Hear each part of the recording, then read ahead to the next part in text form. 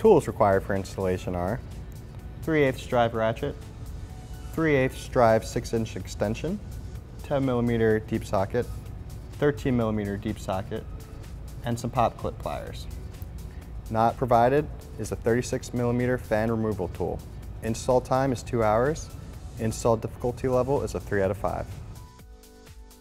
Loosen the coolant drain plug from the bottom of the truck and allow coolant to completely empty into a container.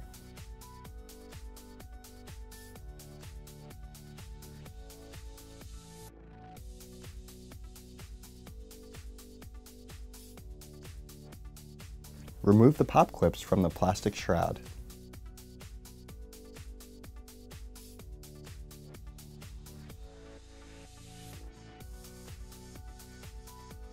Loosen the clamp on the upper radiator hose and disconnect the front end of the hose from the radiator.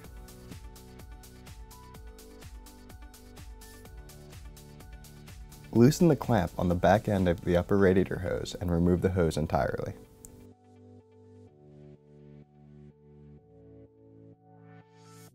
Remove the pop clips from the plastic under tray beneath the truck. Remove the bolt securing the bottom of the radiator to the power steering cooler. Using your fan removal tool, loosen the fan nut. Disconnect the fan shroud. Undo the push clip that holds the fan shroud connection to the plastic fan shroud. Remove the bolts holding the fan shroud in place. Remove the fan from the engine bay. Remove the fan shroud from the engine bay. Loosen the clamp on the lower radiator hose and disconnect the hose from the radiator.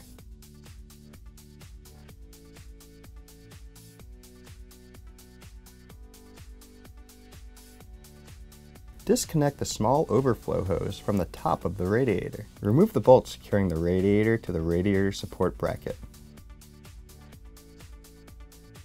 Remove the radiator from the truck. Remove the rubber grommets from the upper mounting points on the factory radiator.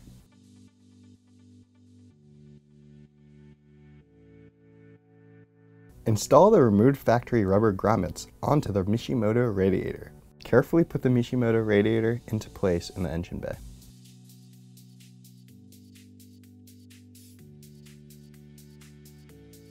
Reinstall the bolts securing the top of the radiator to the radiator support bracket. Reinstall the bolts securing the bottom of the radiator to the power steering cooler.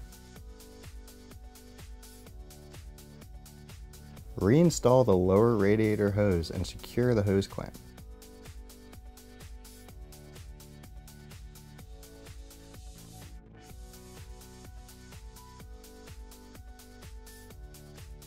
Place the fan shroud back into the engine bay behind the radiator.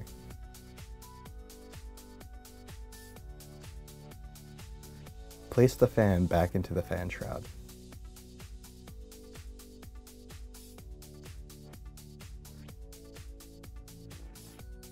Thread the center of the fan back into the fan mounting point.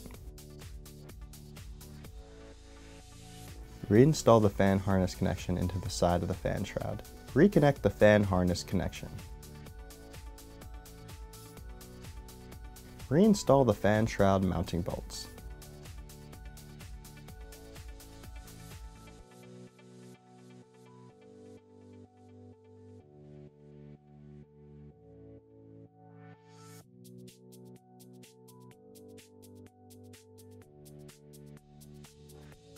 Reinstall the plastic under tray beneath the truck. Reinstall the upper radiator hose and secure the hose clamp.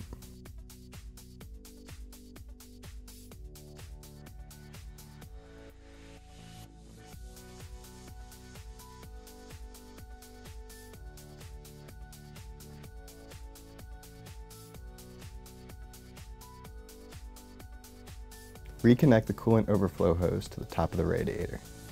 Reinstall the plastic shroud.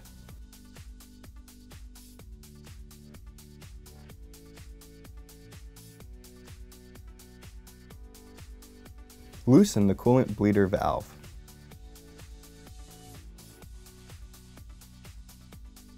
Remove the radiator cap and refill the cooling system with Dodge Cummins approved Dex Cool Extended Life Coolant. Use a 50-50 mix of water and coolant.